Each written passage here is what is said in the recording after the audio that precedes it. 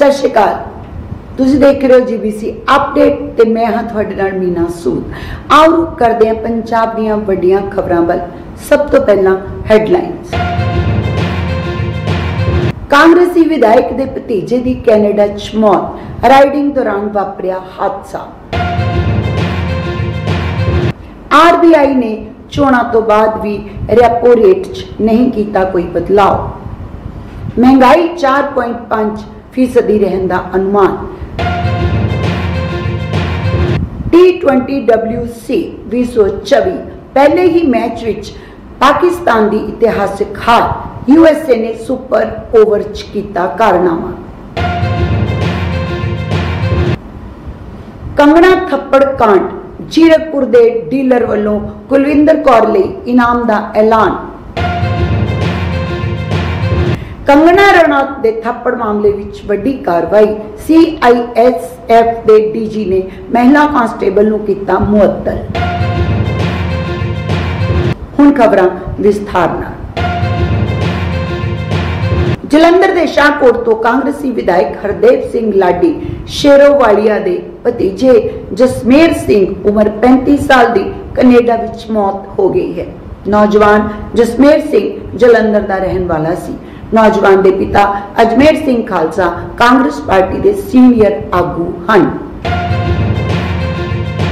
ਭਾਰਤੀ reserve bank ਨੇ ਲਗਾਤਾਰ 8ਵੀਂ ਵਾਰ repo ਦਰ ਨੂੰ 6.5 ਫੀਸਦੀ ਤੇ ਰੱਖਿਆ ਹੈ ਆਰਬੀਆਈ ਗਵਰਨਰ ਸ਼ਕਤੀਕਾਂਤ ਦਾਸ ਸ਼ਕਤੀਕਾਂਤ ਦਾਸ ਨੇ ਸ਼ੁੱਕਰਵਾਰ ਨੂੰ, ਬੁੱਧਵਾਰ ਨੂੰ ਸ਼ੁਰੂ ਹੋਈ ਮੁਦਰਾ ਦੀ 3 ਦਿਨਾਂ ਬੈਠਕ ਵਿੱਚ ਲਏ ਗਏ ਫੈਸਲੇ ਦੀ ਜਾਣਕਾਰੀ ਦਿੱਤੀ। ਸ਼ਕਤੀਕਾਂਤ ਦਾਸ ਨੇ ਕਿਹਾ ਕਿ ਇਸ ਦੇ ਨਾਲ ਹੀ ਐਮਪੀਸੀ ਮੈਂਬਰਾਂ ਨੇ ਪ੍ਰਚੂਨ ਮਹਿੰਗਾਈ ਨੂੰ ਟੀਚੇ ਦੇ ਅਨੁਸਾਰ ਲਿਆਉਣ ਲਈ ਅਨੁਕੂਲ ਰੁਖ ਨੂੰ ਵਾਪਸ ਲੈਣ ਦੇ ਆਪਣੇ ਫੈਸਲੇ ਨੂੰ ਬਰਕਰਾਰ ਰੱਖਣ ਦਾ ਫੈਸਲਾ ਕੀਤਾ ਹੈ। ICC T20 ਵਿਸ਼ਵ ਕੱਪ 2024 ਦੇ 11ਵੇਂ ਮੈਚ ਵਿੱਚ ਵੱਡਾ ਉਲਟਫੇਰ ਦੇਖਣ ਨੂੰ ਮਿਲਿਆ। ਮੇਜ਼ਬਾਨ ਅਮਰੀਕਾ ਨੇ ਸਾਬਕਾ ਚੈਂਪੀਅਨ ਪਾਕਿਸਤਾਨ ਨੂੰ ਸੁਪਰ ਓਵਰ ਵਿੱਚ ਹਰਾ ਕੇ ਇਤਿਹਾਸ ਰਚ ਦਿੱਤਾ ਹੈ।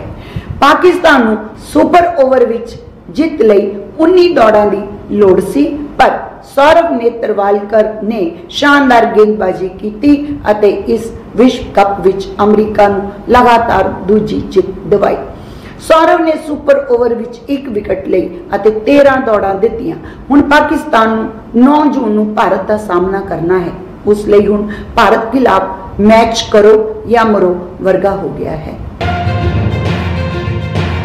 ਚੰਡੀਗੜ੍ਹ ਹਵਾਈ ਅੱਡੇ ਤੇ ਬਾਲੀਵੁੱਡ ਅਦਾਕਾਰਾ ਕੰਗਨਾ ਰਣੌਤ ਨੂੰ ਥੱਪੜ ਕਾਂਡ ਦੀ ਚਰਚਾ ਦੇਸ਼ ਵਿਦੇਸ਼ ਦੇ ਨਾਲ, ਜਿੱਥੇ ਸੋਸ਼ਲ ਮੀਡੀਆ ਤੇ ਬਣੀ ਹੋਈ ਹੈ ਅਤੇ ਇਸ ਤਰ੍ਹਾਂ ਨੂੰ ਲੈ ਕੇ ਲੋਕ ਤਰ੍ਹਾਂ ਤਰ੍ਹਾਂ ਦੀਆਂ ਟਿੱਪਣੀਆਂ ਵੀ ਕਰ ਰਹੇ ਹਨ।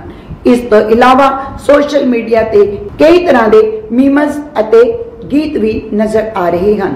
ਹੁਣ ਜੀਰਕਪੁਰ ਦੇ ਇੱਕ ਪ੍ਰਾਪਰਟੀ ਡੀਲਰ ਵੱਲੋਂ ਸੀਆਈਐਸਐਫ ਦੀ ਮਹਿਲਾ ਜਵਾਨ ਕੁਲਵਿੰਦਰ ਕੌਰ ਲਈ ਇਨਾਮ ਦਾ ਐਲਾਨ ਕੀਤਾ ਹੈ। ਦੱਸ ਦਈਏ ਕਿ ਥੱਪੜ ਕਾਂਡ ਤੋਂ ਬਾਅਦ ਸੀਆਈਐਸਐਫ ਦੇ ਡੀਜੀ ਨੀਨਾ ਸਿੰਘ ਨੇ ਮਹਿਲਾ ਜਵਾਨ ਕੁਲਵਿੰਦਰ ਕੌਰ ਨੂੰ ਮੁਅੱਤਲ ਕਰ ਦਿੱਤਾ ਹੈ ਅਤੇ ਮਾਮਲੇ ਦੀ ਜਾਂਚ ਦੇ ਨਿਰਦੇਸ਼ ਦਿੱਤੇ ਹਨ। ਹਿਮਾਚਲ ਪ੍ਰਦੇਸ਼ ਦੇ ਮੰਡੀ ਤੋਂ ਲੋਕ ਸਭਾ ਚੋਣ ਜਿੱਤਣ ਵਾਲੀ ਅਭਿਨੇਤਰੀ ਕੰਗਣਾ ਰਣੌਤ ਨੂੰ ਚੰਡੀਗੜ੍ਹ 에ਅਰਪੋਰਟ ਤੇ ਸੀਆਈਐਸਐਫ ਦੀ ਮਹਿਲਾ ਜਵਾਨ ਨੇ ਥੱਪੜ ਮਾਰ ਦਿੱਤਾ। ਹੁਣ ਦੋਸ਼ੀ ਮਹਿਲਾ ਸੀਆਈਐਸਐਫ ਕਰਮੀਆਂ ਤੇ ਸਖਤ ਕਾਰਵਾਈ ਕਰਦੇ ਹੋਏ ਸੀਆਈਐਸਐਫ ਦੇ ਡੀਜੀ ਨੇ ਉਸ ਨੂੰ ਮੁਅੱਤਲ ਕਰ ਦਿੱਤਾ ਹੈ। ਨਾਲ ਹੀ ਜਾਂਚ ਦੇ ਨਿਰਦੇਸ਼ ਵੀ ਕੀਤੇ ਹਨ। ਇਹ ਸਨ ਅੱਜ ਦੀਆਂ ਮੁੱਖ ਖਬਰਾਂ। ਇਸ ਤਰ੍ਹਾਂ ਦੀਆਂ ਹੋਰ ਖਬਰਾਂ ਵੇਖਣ ਲਈ ਜੁੜੇ ਰਹੋ ਜੀਬੀਸੀ ਅਪਡੇਟ ਦੇ ਨਾਲ। ਤੇ ਤਦ ਤੱਕ ਮੈਨੂੰ ਦਿਓ ਇਜਾਜ਼ਤ ਸਤਿ ਸ਼੍ਰੀ ਅਕਾਲ।